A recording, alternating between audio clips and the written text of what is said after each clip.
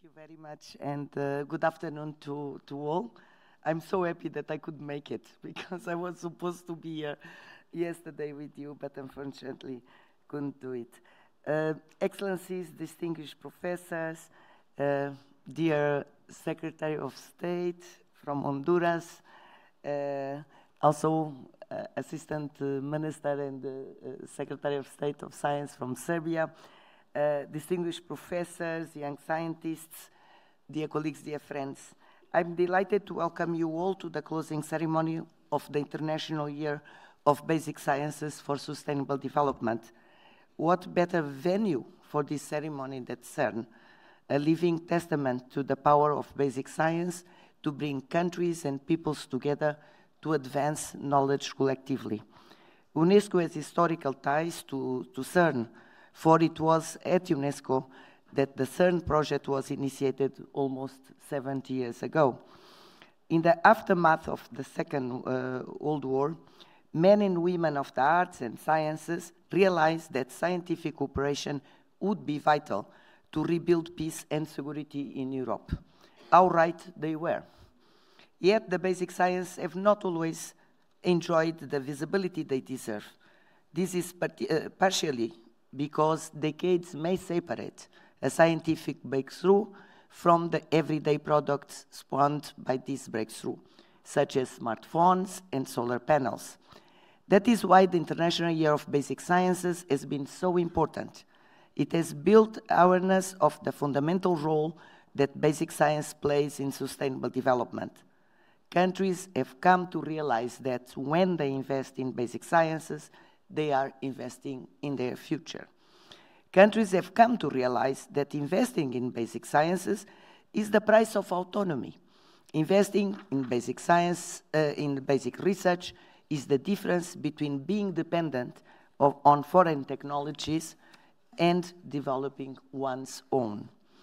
Thanks to the 350 events organized around the world over the past 18 months, there is a weighted awareness of the importance of basic sciences for sustainable development. Now, with the decade of science for sustainable development getting underway next year, we shall be able to build on this newfound awareness to generate the knowledge we need to tackle climate change, preserve our health and that of our planet, and eliminate extreme poverty. In other words, the knowledge we need for the future we want. In March next year, UNESCO will publish a comprehensive report documenting and celebrating the diverse array of activities conducted worldwide during the International Year. This journey on uh, began on the 2nd of December 2021 when the International Year was proclaimed by the United Nations General Assembly with the support of Honduras and numerous other countries. UNESCO is honored to have been the lead agency for the year. With our partners, we have held intercontinental events in Europe, Asia, Africa, and Latin America.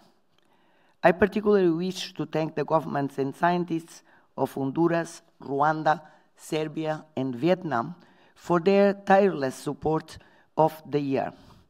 I also want to, to warmly uh, uh, thank the members of the uh, steering committee and, and really dear Michel your leadership uh, there as the chair, uh, because it's you who build one stage after another to enable scientists to showcase their research findings and exchange their views with one another and with the policy community.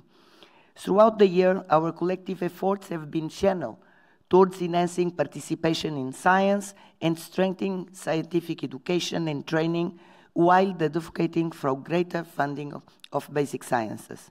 Among these pillars, one stands out for its transformative potential, open science.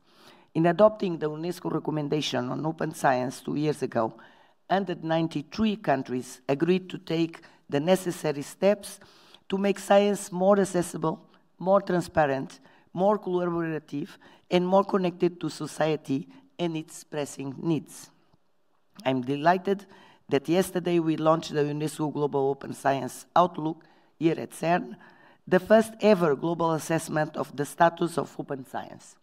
The outlook is not just another status report, it is also a roadmap, for it tells us not only how far we have come, but also how far we still have to travel to make open science universal.